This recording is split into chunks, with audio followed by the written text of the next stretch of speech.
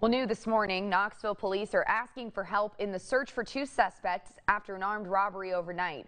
Officers responding to that robbery at the Top Fuel gas station on North Cherry Street around 11.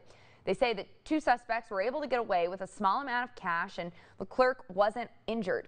Police describe both of the men as African American, about 5 foot 6 and 180 pounds. One of them wearing a gray hoodie, blue jeans and red shoes. The other wearing a brown hoodie, blue jeans and black shoes and was armed with a gun. Anyone with information is asked to call the KPD Crime and Drug Hotline, the number there on your screen.